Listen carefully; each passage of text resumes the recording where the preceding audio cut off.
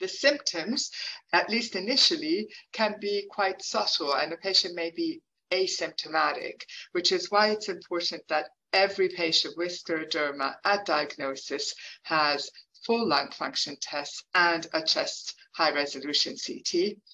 Cough is quite common. It can also be caused by uh, reflux, uh, so heartburn, indigestion, gastroesophageal reflux symptoms can cause or worsen the cough.